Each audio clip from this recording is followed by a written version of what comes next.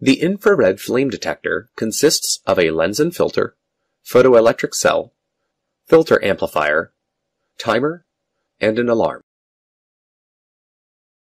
The lens and filter arrangement ensures that the incoming infrared radiation from the fire falls onto the photoelectric cell.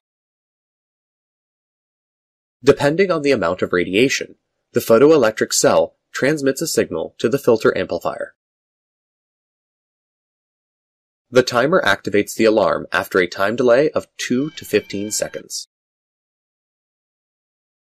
The time delay weeds out chances of false alarms. An ultraviolet flame detector consists of a gas-filled tube sensitive to ultraviolet radiation, an amplifier, a detector circuit, and an alarm circuit. When ultraviolet radiation strikes the gas-filled tube, it ionizes the gas. This generates a small electric current between the two electrodes of the tube. The tube directs the current to the amplifier.